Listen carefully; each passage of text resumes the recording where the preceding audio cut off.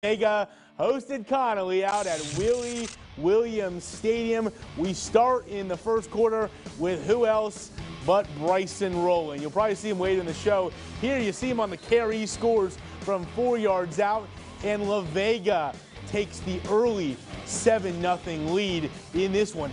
Connally, though, would respond in the second quarter to the Oklahoma State commit, Jelani McDonald. The snap is bad, the throw perfect. He finds Kiare Riley streaking down the field.